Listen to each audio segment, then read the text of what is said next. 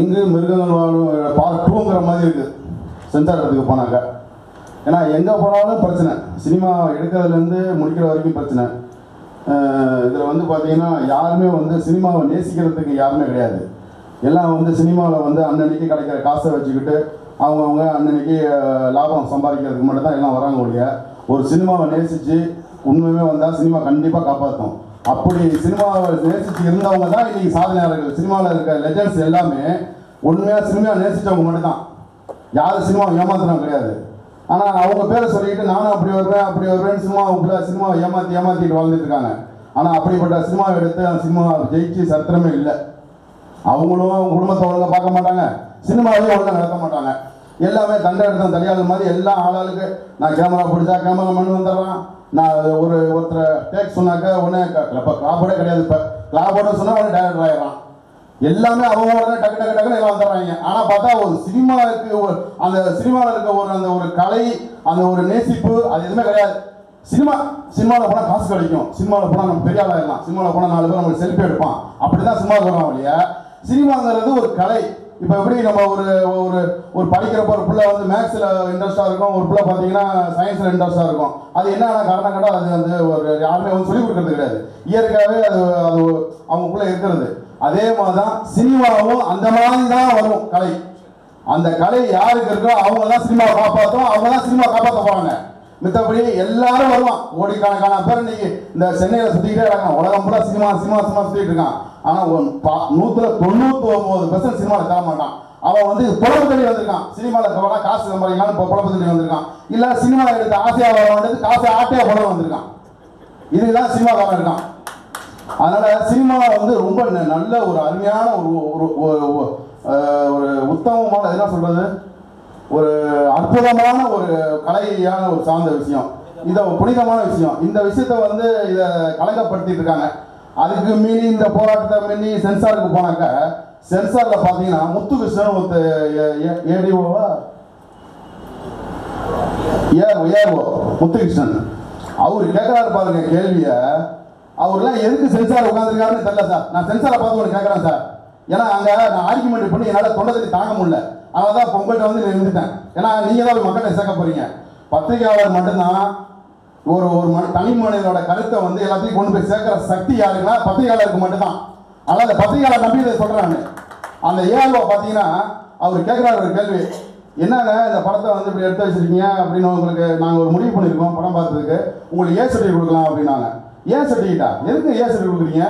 ஏ எது- அப்படி என்ன இந்த படத்தில் வந்து உங்களுக்கு இப்போ தீண்டத்தகாத எடுத்து வச்சுக்கலாம் ஏன் ஃபுல்லாக ட்ரக்ஸாக இருக்குது சார் படத்தில்.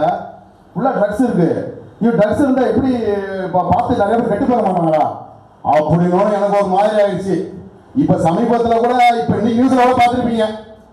அதை நான் சொல்ல விரும்பல இன்னைக்கு இப்போ பாலிமர் நியூஸில் இப்போ ஓடிட்டு இருக்கு இப்போ இந்த டைமில் ஒரு ஆஃப் ஹவர் ஓடிட்டு இருக்கு ஒருத்தர் கைது பண்ணியிருக்காங்க உங்களே பார்த்துருப்பீங்க. பாண்டிச்சேரி மேட்ரு பாண்டிச்சேரி பாருங்க ஒரு சின்ன வயசு பொண்ணு வந்து கற்பழிச்சு கற்பழிச்சு கொண்டு போனாங்க அது அந்த பொண்ணு சாவறதுக்கு என்ன ரீசன் கூட தெரியாது. ஏன்னா அந்த பொண்ணுக்கு வந்து இந்த சின்ன பொண்ணை பார்த்து இது செய்- எதை செய்யாத? அதை செய்யாத அப்படி சொல்லி வளர்க்குறவங்க எல்லாத்தையுமே ஒவ்வொரு பிள்ளைக்கும் ஒவ்வொன்றுக்கும் எல்லாத்துக்கும் இது தெரியப்படுத்தினாதான் இது இதனால தான் நம்ம விளைவுகள் வரும் இதனால பிரச்சனைகள் வரும் அப்படிங்கிறது ஒவ்வொருத்தருக்கும் தெரிய வரும். இதை செய்யாத அதை காட்டாத அந்த பிள்ளைகள் இதை செய்யாத இதை செய்யாத காட்டி காட்டி அந்த பிள்ளைகளுக்கு ஒண்ணுமே தெரியாமே வளர்த்து வளர்த்து வளர்த்து நம்ம நினைக்கிறோம் இந்த ட்ரிக்ஸ் இந்த சினிமாவில் காட்டுறதுனால தான் இந்த நாடு சீரழிஞ்சு போய் அப்படி பார்க்கும்போது நம்ம நினைச்சா நம்ம இந்த க- இதை வந்து அரசாங்கமும் எவ்வளோ கண்ட்ரோல் பண்ணி எல்லாரையும் செய்யுது. ஆனால் ஒரு தனி மனிதன் ஒரு மனிதனுக்கு ஒழுக்கம் இல்லாதனால இந்த ட்ரக்ஸ் வந்து அதிகமாக போயிட்டு இருக்கு அந்த ட்ரக்ஸ்னால தான் இந்த விபச்சாரம் அந்த ட்ரக்ஸ் போய் மூளையை மருந்து வைக்கிறனால தான் இந்த விபச்சாரங்கள் நடக்குது. ஒரு பிள்ளைய வளர்த்து அவங்க ஆளாக்கி அவங்க எவ்வளோ கொண்டு ஒரு பெற்றவங்க எவ்வளோ கஷ்டப்பட்டு அந்த பிள்ளைய ஆளாக்கி அதில் கல்யாணம் பண்ணி கொடுக்குற வரைக்கும் அவ்வளோ போராட்டம் இருக்குது. ஆனால் அதையும் மீறி இந்த ட்ரக்ஸ் வந்து நல்ல அவங்க எல்லாரும் இப்போ எங்கள் வீட்டில் வளர்க்குற மாதிரி தான் இன்னொரு வீட்லையும் அந்த பொண்ணையும் பையனை வளர்ப்பாங்க. அவங்க வீட்டில் அந்த பையன் நல்ல பையனை தான் வளர்ப்பாங்க. அந்த ஒரு கேடு கட்டுற அந்த ட்ரக்ஸ் தான் அவனை காலி பண்ணுது மூளையை. அந்த காலி பண்ணி என்ன பண்ணுது? அவனை எல்லா வேலையும் செய்ய வைக்குது. செய்ய வச்சு என்ன பண்ணுது? தப்பு பண்ண வச்சிருது. அதில் யாரும் பாதிக்க போகிறான் அந்த பையன் அதில் செஞ்சு ஜெயிலுக்கு போகிறான் இல்லை சாவறான் அந்த சனியை இருக்குது எல்லாம் போகுது. ஆனா ஒரு பெத்த பொண்ணு செத்து போச்சுன்னா அந்த பெண்ணை ஒண்ணு பாண்டிச்சேரி அந்த பொண்ணை பெத்த குடும்பத்துக்கு நீங்க எத்தனை லட்சம் வேணாலும் கொடுங்க அரசாங்கம் கொடுக்கணுங்க ஆனா அந்த குடும்பத்துக்கு யாராவது ஒரு ஒரு ஆதரவு சொல்ல முடியுமா? அந்த புள்ளைய இடத்தை யாராவது புள்ள பண்ண முடியுமா? யாராலும் புள்ள பண்ண முடியும். எத்தனை பேர் ஆளுநர் சொன்னாலும் அந்த புள்ளையோட இடத்தை யாருமே புள்ள பண்ண முடியாதுங்க. இதுக்கு காரணம் வந்து ட்ரக்ஸ் தான். மைக் இருக்காதா? சார் கொஞ்சம் பக்கத்து அது மாதிரி அந்த பிள்ளை எடுத்தால் யாருமே பூர்த்தி பண்ண முடியாது. அதுக்கு வந்து அரசாங்கம் தான் இதுக்கு ஒரு முற்றுப்புள்ளி வைக்கணும். அந்த மாதிரி அது அந்த மாதிரி செய்ய முடியாது. அரசாங்கமும் எவ்வளோ பாடுபட்டு எல்லா வேலையும் செய்கிறாங்க எவ்வளோ வழிகள் பச்சாலும் அதில் ஒரு ரூப் லைன் வச்சு பண்ணிட்டு இருக்காங்க. நீங்கள் நிறைய நியூஸ் நிறைய பார்த்துட்டு இருக்கோம். அது மாதிரி நான் இந்த படம் வந்து எடுத்ததுக்கு மிகப்பெரிய காரணம் பார்த்தீங்கன்னா இங்கு மிருகங்கள் வாழும் இடம். இதில் வந்து நிறைய பிரச்சனைகளை சொல்லி இந்த பெத்த பிள்ளைங்களுக்கு இது மாதிரி ஒரு ஒரு அப்பா பொண்ணுலாம் எவ்வளோ கஷ்டப்பட்டு வளர்க்குறாங்க ஒரு அம்மா இல்லைனா ஒரு அப்பா எவ்வளோ கஷ்டப்பட்டு வளர்ப்பாரு இந்த மாதிரி இவ்வளோ போராட்டத்துக்கு முன்னாடி அந்த கொண்டு போகிற சூழ்நிலையில் இந்த மாதிரி தவறாக வீணாக போயிடக்கூடாதுன்ட்டு நம்மளால் முடிஞ்ச ஒரு கருத்தை சொல்லுவோம். இது கமர்ஷியல் நோக்கத்தில் இல்லாமல் ஒரு கருத்தை சொல்லுவோம் அப்படின்னு எடுத்துகிட்டு போய் அங்கே போனாங்க.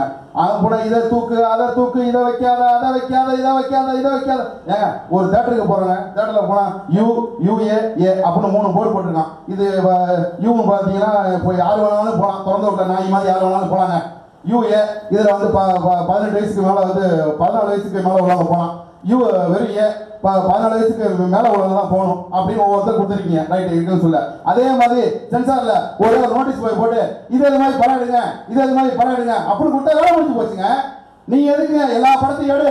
நீ கோடி கணக்கில் செலவு பண்ணி படத்தை போட்டு எடுத்துட்டு பா- ஏற்கனவே இங்கு மிருகங்கள் வா- பிரச்சனையை போராடி ஒருத்தர் அங்கே கொண்டாடுறான். அந்த கொண்டாந்தா இந்த சங்க மிருக சங்கத்து தலைவர் மாதிரி இருந்தீங்கன்னா நாங்க என்ன பண்ண முடியும்? அப்புறம் சினிமா எப்படிங்க வெளியே வரும்? சினிமா யார் சினிமா யாரை ஏமாத்த போறா? இப்படியே சினிமா அழுத்தி போற வேண்டியதுனா ஏற்கனவே இங்கு மிருகங்கள் வாழும் இடம். திருப்பியும் திருப்பியும் அதான் சொல்றேன். ஏன் அதை சொல்றேன் திருப்பியும்? ஏன்னா அவ்வளோ மிருகங்கள் வளர்த்துட்டு இருக்கு. மனசாட்சியில இல்லாம சினிமா தொழில் அவ்வளோ மிருகங்கள் வாழ்ந்துட்டு இருக்குங்க. அந்த மிருகங்களுக்குலாம் அதுவே இல்லை. அந்த மிருகங்கள்லாம் எதுக்கு வாழ்ந்து இதுக்கு ஒரு முடிவே என்னன்னு தெரியல. இது மீறி ஒரு போலீஸ்ல பணத்தை போட்டு அங்க போய் அங்க கொண்டு போய் அங்க வைக்கிறான். அங்க போனா இங்க ஒரு பிரச்சனை. இது என்ன காரணம்? இது யார் தான் முடிவு சொல்ல போறா? ஏன் சொல்லிட்டு இருக்காங்க? மானியம் கிடையாது. ரைட்டு மானியம் கிடையாதுங்க. அந்த கதையே சொல்ல விடாங்க. இந்த கதையில முக்கியமான கருத்து அதை விட ஏங்க சொல்ல விட மாட்டேங்கிறீங்க? அப்ப எப்படி நான் எதுக்கு நான் படம் எடுக்கிறது? இதை சொல்லாத ஆளு இதை சொன்னா கெட்டு போயிடுமா? அப்படி கெட்டு போயிடுனா எவ்வளவு பிரச்சனை இருக்கு? உங்களை சட்டம் கையில இருக்குல்ல. இதெல்லாம் நீங்க control பண்ண வேண்டியதுதானே? ஏன் control பண்ண மாட்டேங்கிறீங்க? உங்க கையில இருக்குங்க எல்லாமே. அதை வச்சு நான் விட்டுட்டு இது பண்ணுது, அதை பண்ணுது, இதை பண்ணுது, எல்லாத்தையும் வந்து எடுத்து போட்டா அப்புறம் படம் எப்படி இருக்கும்? அதனால மத்த எல்லாத்தையும் சொல்லிட்டேன். இந்த படம் வந்து ரொம்ப அவங்க சொன்ன அவங்க அவங்க சொன்ன மாதிரி இந்த படத்துல வந்து electricity இதெல்லாம் use பண்ணா தெரியுது. அந்த பிரச்சனைனால வர பிரச்சனைகளை அழகாக உட்பட வந்து காட்டிருக்கோம். இந்த படத்துல ஒரு குடும்பத்துல ஒரு ஒரு அம்மா இல்லாம ஒரு அப்பா ஒரு பொண்ணை வளர்த்து அந்த பொண்ணை வந்து நாலு பேரை சேர்த்து நாலு லஞ்சம் கீழே வச்சு அந்த பசங்க வேலையெல்லாம் இதெல்லாம் கீழே போறப்ப அந்த பொண்ணை அவங்க அப்பா எப்படி காப்பாற்றி அது செத்து போனது அந்த பொண்ணை வளர்த்து அந்த கருத்து அந்த பொண்ணு அவங்களோட மனநிலை எப்படி இருக்கிறதான அந்த படம் இதான அந்த படத்தோட கிளைமேக்ஸ் அந்த கிளைமேக்ஸ் போய் பாருங்க அதுக்கப்புறம் நீங்க வந்து சொல்றீங்களா இந்த படத்துக்கு ஏசத்தை கொடுத்தது சரின்னு சொல்லுங்க என்ன வேணா பார்க்கலாங்க ஏன்னா அப்பதான் இந்த முத்து மிஸ்டருக்கு அவர் சொல்லுங்க இந்த படத்துக்கு அப்படியே கேட்கல உங்க மனசாட்சி சொல்லி சொல்லுங்க சார் இந்த படத்துக்கு ஏசத்தை நீங்கள் மனசாட்சி சொல்லுங்க உங்க இன்னொரு சம்பவம் நடந்துருச்சுன்னா நீங்க இப்படி சொல்லுங்க அவர் பதில் இருக்குங்க சட்டத்திட்டம் சட்டத்திட்டம் சட்டத்திட்டம் சரியான முறையில் ஏற்ற மாதிரி பயன்படுத்துறது கிடையாது உங்களை ஒப்படைச்சேன் நீங்க தான் இது வந்து சரியான தீர்வு வணக்கம் நீங்க சேதுன்னு ஒரு படம் பார்த்தீங்க விக்ரம் இன்னைக்கு சினிமா நிற்கிறதுனா காரணமே அந்த சேதுன்னு ஒரு படம் தான் அதே மாதிரி தான் ஒரு கிளைமேக்ஸில் பார்த்தீங்கன்னா உண்மையிலே நடிச்சிருப்பார். இவர் வந்து சினிமாவில் வந்து நடிக்கணும்னு வந்தவர் இன்னைக்கு வந்து ஒரு டே ஒரு ப்ரொடியூசராகவும் ஒரு ஹீரோவாக வந்திருக்காருன்னா அவருடைய வெறி. இப்போ அதனால தான் சொன்னேன் சினிமாவில் நிறையா பேர் ஏமாத்துறேன் அது உண்மை. அந்த படத்தில் நான் ஒர்க் பண்ணேன். அதுக்கப்புறம் அரண்மனையில் ராஜகிரன் நானும் வடிவேல் எல்லாம் ஒன்றாவே இருக்கும்போது அப்போ அர அரண்மனை இந்த சாரி ராசாயன படம் வந்து நல்ல ஒரு ஓகோன்னு ஓடி போச்சு. ஓடி போனதுக்கப்புறம் பார்த்தீங்கன்னா அந்த படம் வந்து ஹிட்டாக சரி ஆஃபீஸ்லாம் ரெடி பண்ணலாம். ஏன் இதை சொல்ல வரேன்னா எந்த அளவுக்கு சினிமா நேசிக்கிறாங்க அந்த ஒரு கதை சொல்ல வர. அப்போ ஏமாந்துருக்குது. நிறைய பேர்கிட்ட வந்து நடிக்கலாம் வந்து என்ன சொல்லி ஏமாந்து போனதுக்கு அப்புறம் தான் அது சார் நானே சொந்தமாக ஒரு படம் எடுக்கணும் அப்படிங்கும்போது இதுக்கு நிறைய பேர் ஏமாந்துட்டாங்க இதுக்கு நான் நிறைய ஃபைட் பண்ணியிருக்கேன். இந்த டைரக்டர் கூட சரியான முறையில் சப்போர்ட் பண்ணல. கேமராவை சப்போர்ட் பண்ணல. எல்லா வழியும் சப்போர்ட் பண்ணல. இன்னைக்கு படம் வந்து நிற்கிது விரைவாள்னா வாழ்னா மெயினுக்கான அவரோட ஒண்டியான தனி முயற்சியாலையும் என்னோட சப்போர்ட்ல வந்து உங்களுக்கு பேசுகிறோம் இது வந்து என்னோட சார் வந்து என் கூட பிறந்த அண்ணன் மாதிரி என் கூட இருந்து இது ஒரு சங்க தலைவர்னு மாதிரி இல்லை. என் கூட பிறந்த அண்ணன் மாதிரி இருந்து எவ்வளோ பிரச்சனை வந்துச்சு. எல்லா பிரச்சனையும் கூட இருந்து சப்போர்ட் பண்ணி இன்ன வரைக்கும் என்னை வந்து இதை எப்படியாவது நல்லபடியாக கொண்டாந்து கொண்டாந்து என்னை முழு மூச்சா என்னை வீட்டில் ஒருத்தர் மாதிரி என்னை இன்ன வரைக்கும் அண்ணன் வந்து போட்டுருக்காரு என்னோட உயிர் இருக்கிற வரைக்கும் இவருக்கு நான் என்றைக்கும் கடமைப்பட்டவனா இருப்பேன். ஏன் சொல்ல வரேன்னா நான் எல்லாரையும் பார்த்து வந்தேன். ஏன்னா நான் சினிமாவில் வந்து நான் முப்பத்தஞ்சு வருஷம் இருக்கேன்னா நான் ஆக்சுவலாக சிந்தாமணி முடியாசிலேருந்து எல்லாரையும் பார்த்து வந்தால் தான் நான் உங்களை இருக்கிறேன் பொய் சொல்ல அவசியம் இல்லை பொய் சொல்ல மாட்டேன். இன்னைக்கு இளையராஜா மியூசிக் ஆஃபீஸ் பக்கத்தில் அந்த இளையராஜா இருந்துச்சு. ஏன் சொல்லுவாங்கன்னா ஒவ்வொருத்தரும் வந்து அந்த உழைப்பு முயற்சி வெட்டி இருந்தால் கலாநிதி மாதிரி நூறு பேர் வரலாம். அதே மாதிரி தான் இன்னைக்கு பைஜான் வந்து இன்னைக்கு மிருகங்கள் வாழுங்கிற ஒரு படத்தை மிகப்பெரிய படமாக எடுத்து இன்னைக்கு நம்ம நேரம் பார்த்தா அவர் நடிப்பு.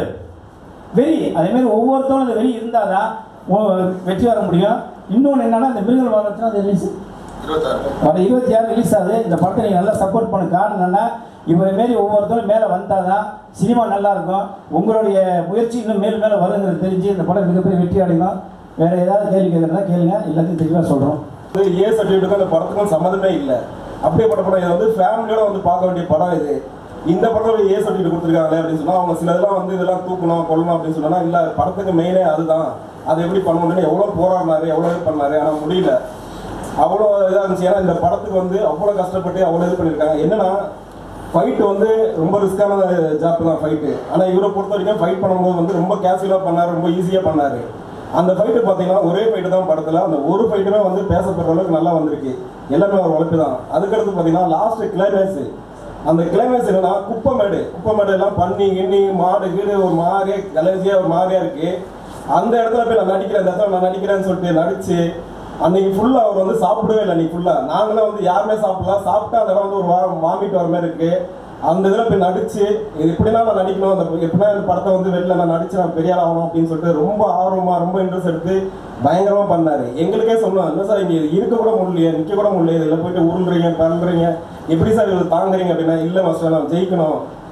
அப்படின்னு சொல்லிட்டு இந்த படத்தில் வந்து இந்த படத்தில் மெயின் கிளைமேக்ஸ் தான். அந்த கிளைமேக்ஸ் வந்து யாராக இருந்தாலும் சரி கண்டிப்பாக இந்த படம் கிளைமேக்ஸ் பார்த்துட்டு எல்லாருமே அழுவாங்க சார் வந்து கிளைமேக்ஸில் வந்து அவ்வளோ அற்புதமாக நல்லா நடிச்சிருக்காரு இந்த இதில்.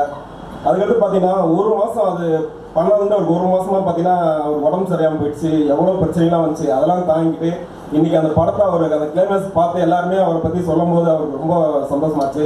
கண்டிப்பாக இந்த கிளைமேக்ஸ் முடிச்சுட்டு வந்து ஒரு மாதம் எனக்கு வந்து ஓப்பனாக சொல்கிறேன் நீங்கள் எத்தாப்பில் உட்காந்துருங்க பத்திரிக்கையாளர் மட்டும் இல்லை என் சகோதர சகோதரிகள் தான். எனக்கு யூரியனை போடலை. அந்த குப்பை தொட்டில் பண்ண இன்ஃபெக்ஷன் ஆகி எனக்கு யூரினை போல. நான் ஹாஸ்பிட்டலில் போயிட்டு எனக்கு கிட்னிலாம் ஃபெயிலர் ஆயிடுச்சு அவ்வளோதான் அப்படிங்கிற மாதிரி சொல்லிட்டாங்க. இது வரைக்கும் இப்போ என் என் எத்தாப்பில் என்னோட நண்பர் வந்திருக்காரு.